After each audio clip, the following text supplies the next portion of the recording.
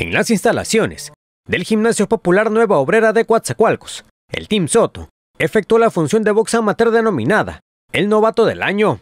Seis combates conformaron la cartelera preparada para este evento que congregó a pugilistas de la zona. Quien logró llevarse la victoria fue Jairo Martínez Seco Soleacaque, al derrotar en la división de los 52 kilogramos por RSS en el tercer round a su rival en turno el local Alan Ramírez. Me voy satisfecho porque la verdad sí me avisaron con poco tiempo para prepararme, pero cuando me dijeron me sentí muy emocionado porque era mi primera pelea y hice lo mejor que pude en poco tiempo para prepararme lo mejor que pudiera y me voy contento porque pues ya veo que el, este pues el esfuerzo que hice ya está dando frutos y voy a ir subiendo más. Y...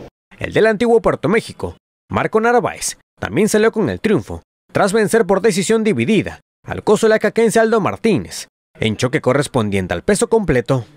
Satisfecho, gracias a Dios, eh, satisfecho gracias al trabajo del entrenamiento del Martín Soto, ahora sí de, nuestro profesor. Muy, muy satisfecho con lo que ha hecho por nosotros.